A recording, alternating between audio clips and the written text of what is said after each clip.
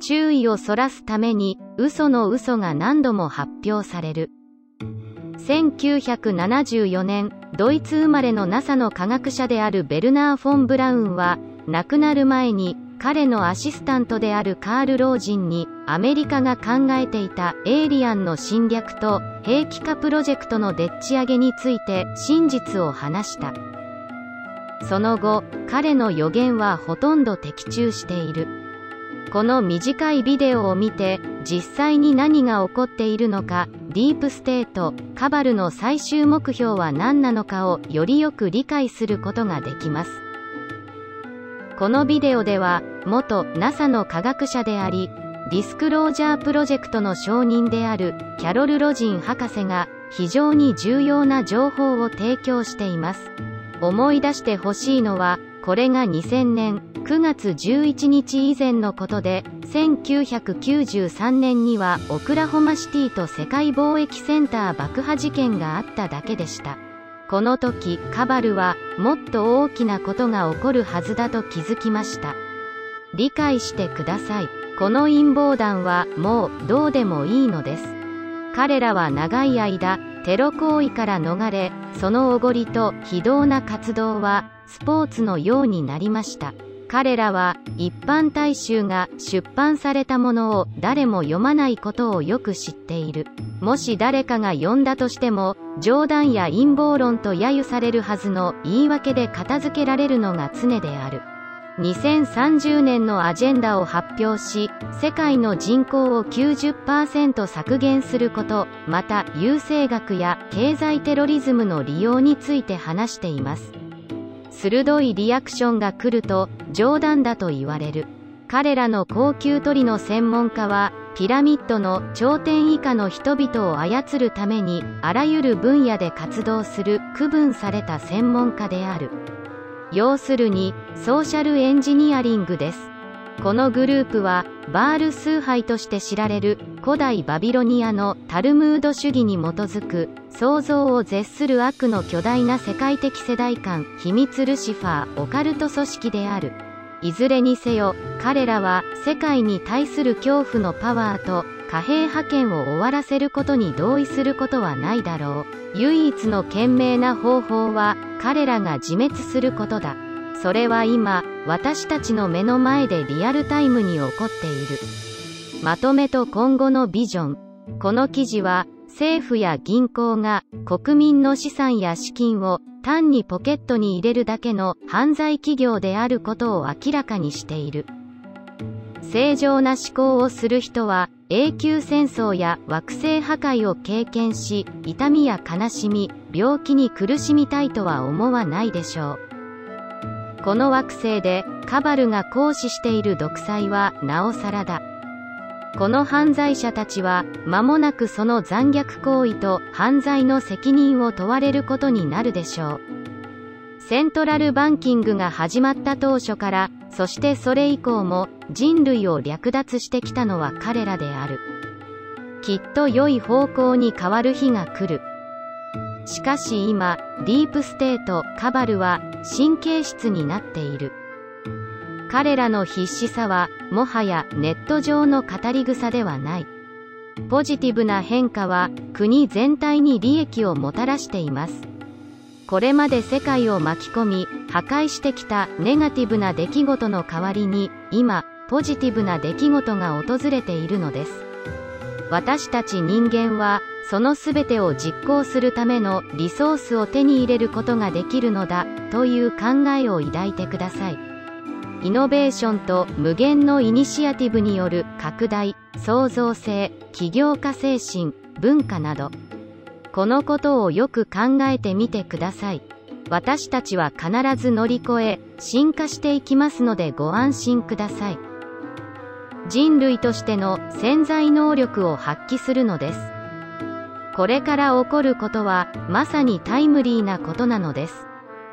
つまり私たちの時代です。地球外生命体の存在。地球外生命体は私たちが地球にいるのと同じように彼らの世界にも存在する。しかし、彼らは何倍も発達し、才能があり、高度な技術を持っています。恐れる必要はない、彼らは誰も傷つけたことがないのだから。アドバイスはしてくれるが、実行は自分たちでやらなければならない。毎晩、空に浮かぶ巨大な宇宙船を一つ以上観察することができます。彼らが脅威であると信じさせようとする主流メディアや政府とは異なります。彼らは存在し、平和な愛のある存在です。彼らの文明は愛、思いやり、共感、誠実さ、知恵、スピリチュアリティに基づいています。残念ながら我々にとって善意や中立ではない異星人も存在し地球に救っている。彼らは何十万年もの間、私たちの地球上で金を採掘し、私たちを奴隷にするために活動してきたのです。彼らは我々の地球を手に入れ、今度は毒によって地球上の人類を永遠に滅ぼそうとしているのだ。思いやりも感情もないネガティブな存在です。神の代わりにサタンを崇拝するルシフェリアン。彼らは私たちの地球を、ましてや地球上の生命を尊重していないのです。ドラコやグレーなどの邪悪な地球人類で、私たち人間を抑圧し、恐怖に陥れている。そのため、善意の ET が私たちを救いに来て、彼らの逃げ道を全て封鎖してしまったのです。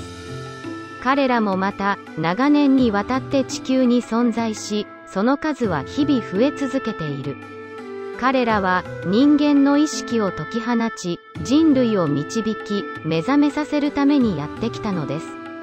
また、宇宙船を見えるようにしたり、見えないようにしたりすることもできます。地球の周波数は、より高い5次元アセンションへの移行のために、7.8Hz から最終的には 40Hz へと、かつてないほどのシフトが起こっています。それは、人類の解放につながるスピリチュアルな進化です。これは宇宙の歴史上、絶対的にユニークなことです。銀河連邦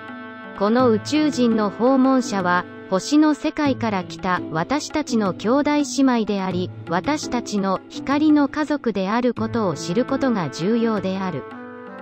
家族はいつも必要な時に助けに来てくれる。彼らは異なる星系から来た愛に満ちた種族で地球人類のために協力しているのです。彼らは銀河連邦で結束している。銀河連邦はガイアの進化と意識を見守る高度な霊的存在の大集団である。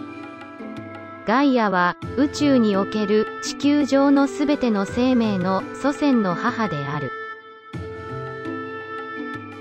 真理は解放する。彼らは思いやりや尊敬、愛情を知らないネガティブな心の持ち主です。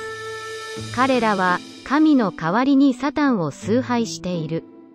彼らは地球という惑星、そしてそこに住む生命に対する尊敬の念を全く持っていない。彼らはアヌンナキ、ドラコ、グレーなど50万年もの間、地球を恐怖に陥れてきた邪悪な ET 種族である。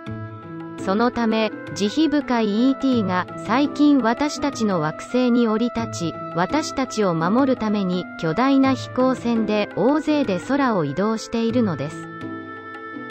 ネガティブな世界では、人を騙すことは、騙されたことを納得させることよりも簡単なのです。現実を反映し、論理的、感情的に理解できる真実の暴露を提供することは有用である。今日の3次元の真実は重要な知識が抑圧されることによって多くのことが歪められています。そのため奥行きのない限定的な現実感しか生まれません。しかし宇宙には様々な種族が存在します。現在、私たちの惑星に存在する高次の存在について、5つの主要なグループに言及することは重要でしょうか？銀河連邦は、プレアデス人、アンドロメダ人、セリア人、ビラ人、アークトゥルス人の5つの星系国家を中心に構成されている。彼らは、異なる世界から来た高度に進化した霊的存在であり、光の家族として共に働いているのです。これらのグループはすべて地球と確かなつながりがあり、先制と抑圧からの解放を求める私たちの声に耳を傾けてくれたのです。彼らは私たちに自分の存在を知らせ、私たちを見守り、地球での進化を導くことにしたのです。私たちは宇宙で唯一の存在であるという限定的な信念にしがみついているこの地球の人々は心を広げなければならないでしょう。人間の生命が存在する宇宙には約100倍1000億個の星があると言われています。それを考えてみてください。1945年以来、原子力施設の上空を飛ぶ UFO の報告が何百件と出ている。この未確認飛行物体は地球の核ミサイルの機能を操作し無力化した遠い昔に起こったような地球が再び核爆発に見舞われないように